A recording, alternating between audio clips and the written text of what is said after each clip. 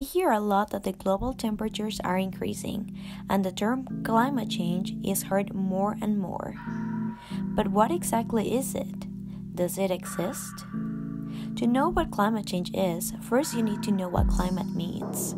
Climate it is a typical or average weather of a certain region, and climate change is whenever this average weather shifts substantially over time. Also, is whenever the overall Earth's temperature or typical precipitation pattern changes. So, why does this happen? Gases in the atmosphere increase the average heat on Earth, which causes the greenhouse effect, where solar radiation is reflected and most of it is absorbed by the Earth's surface, which warms it.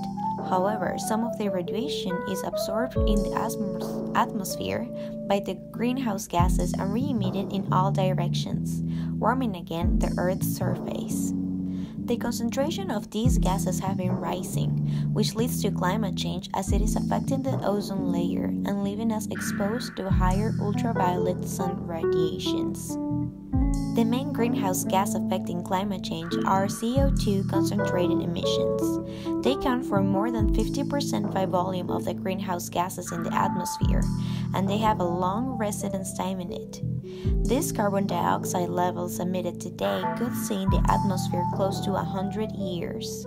The increase in the accumulation of carbon dioxide is directly related to the increase of the global temperature. This chart depicts the carbon dioxide levels thousands of years ago, as well as the temperature at the time. Now, the current CO2 is much more higher as compared to before, causing an overall increase in temperature. And it is not slowing down. There is a rising global temperature trend since the 1950s. But why is this a problem? Well, increasing temperatures can lead to changing rain and snow patterns, stronger storms, higher sea levels, warmer oceans, less snow and ice, more droughts and wildfires, and of course, higher temperatures and more heat waves, which it increases the chances of more natural disasters, such as hurricanes. They have started to happen more frequently.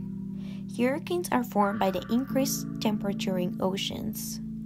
Hurricanes like Irma and Harvey in 2017 that impacted the United States co- costed between 150 and 200 billion dollars in damages and 215 fatalities in total.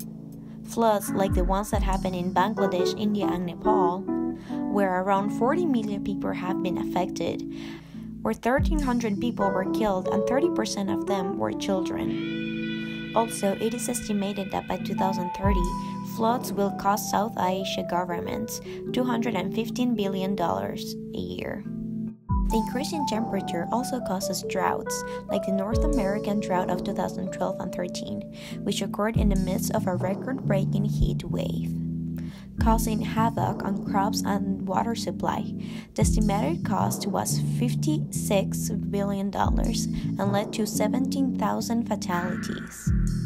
As the greenhouse gases emissions by humans increase, the temperature increases, leading to a market failure. Climate change is the biggest market failure as unregulated markets have overproduced carbon dioxide as, and the social costs are not priced into transactions. Greenhouse gas emissions are a side effect on economically valuable activities. Since the impacts of these emissions do not fall on those conducting the activities, but on future generations, these greenhouse gases are external to the market.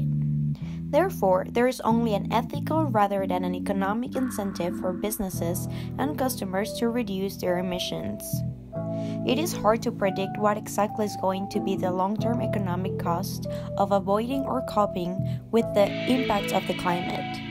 The cost of reducing future emissions will depend on the prices of fossil fuels and the, alter- the alternative forms of energy, and which that depends on other factors such as economic growth, demographics, government incentives, diverse or depletion of energy reserves, and more. Despite these complications, economists have estimated that the best way to protect the global economy in the long term is to reduce emissions now. Since the cost of climate impacts aren't reflected in the price of goods and services that emit greenhouse gases, putting a price on those emissions gives businesses an incentive to reduce them. For example, the carbon tax. Here, the government would set a price that emitters must pay for each ton of carbon emitted. Businesses will take steps to reduce their emissions to avoid paying the tax. Then the market determines the emissions as the businesses will opt to take reduction activities that are cheaper than the tax. Cap and trade. The government sets a cap on emissions and requires emitters to hold a permit or allowances per ton of CO2 emitted. They can sell or buy permits if they need or decide to. Cleaner energy infrastructure and transportation upgrade can potentially reduce CO2 emissions. And we can also help at home. Replace incandescent light bulbs with compact fluorescent bulbs. Leave your car at home, walk or bike instead. Recycle your home's waste. Recycling cardboard, glass, and metal makes a difference. And the number one thing you can do to reduce climate change is to purchase a fuel efficient car to replace your most frequently used automobile.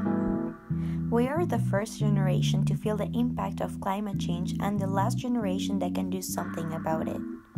We have a single mission to protect and hand on the planet to the next generation. It is up to us to act now.